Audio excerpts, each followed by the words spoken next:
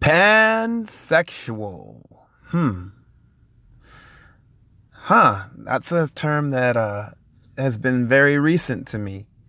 The first time I heard it was uh, an interview. I think it was an interview with Janelle Monáe. She mentioned it. I'd never heard of that term before. Were they talking about this Pan?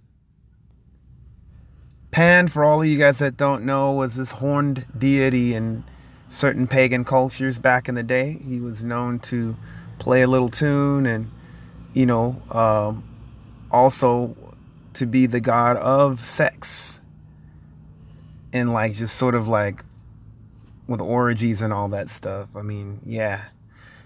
Pan, you know, he'd just kind of spin people into a frenzy and they would do what they did, you know? Um, but recently, the reason I'm talking about this is because of the new Star Wars, where um, the character of Lando Calrissian, played by Donald Glover, is being called pansexual. Huh. Wow. Okay. The thing about this, uh, you know, it's striking to me. Well, first of all, for all of you guys that know my real name, um, Lando is actually my my nickname. You know, so back in the day when I was, I was totally proud of that because of Billy Dee Williams. You know, um, and I dug his character because he was just like that dude. You know, like that that's you know I think he was a space bounty hunter or something like that like Han Solo's homie, you know. But you saw no traces of any kind of sexual like type attribution with him. It wasn't emphasized like that, like it is with Donald Glover's version of that. I don't understand why they need to sexualize specifically a black man. And the thing that kind of bugs me about this pansexual title, it's like, okay, basically he could have sex with anything. So what are you ruling out this man to be? I mean, they've already sexualized us enough to the point where they think that we are that sort of I hate to use the term buck, but that's what um, we were used as and that sort of their their definition of what a mandingo is. Yeah, the black man is this lecherous being that just has sex with anything you know? And what does pansexual, I mean, like, is there any limits to this pansexual nature? I mean, literally, like, is there limits? Like, you know, are you ruling out certain things? You know? I mean, man, is this pansexual thing like gonna be a catalyst for something like NAMBLA? I have a problem with this. I have a problem with this title. And I have a problem with them portraying specifically black men as pansexual. Now, some people might be offended because I say that, but think about it. We've been accused for sex crimes and killed over that stuff. You know?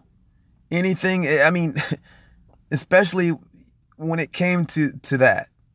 We've been accused of rape, and, and, seducing people or whatever. I mean, there was some movie I remember seeing, and this is actually like a play of um, just freaking what happened with the slave narratives. I mean, you had certain slaves, black people, I, I don't want to call my people slaves, that were accused of basically having sex with the so called slave master's wife, even though she was the one that seduced them you know, and, and just stuff like that. Or just even after that, you know, like the whole Black Wall Street thing was burned down because some dude, like, I guess, brushed up against a white woman. And, you know, it was, uh, it was that same black boogeyman syndrome BS. You know, it's the sexual element. Oh, these black people are just lecherous, you know? you know, it's it's just not cool. Like like what? Is black manhood supposed to be sexualized like that? Pansexual, right? Pansexual. Really? So does that mean that Lando has sex with animals and objects and like toys and other things that I don't even want to mention because I just cringe at even the thought of those things. I have a problem with him with I have a problem with this character being sexualized like this and that title given to him. Why does he have to have that title? The old Lando, it was not even a thing. He wasn't sexualized at all. Yeah, the sexualization of black men. This is not cool. You know, my nickname is Lando, and it's going to be kind of weird because of this new character um, but I'm down with the OG version of Lando. Yeah, the Billy Dee version, who wasn't pansexual.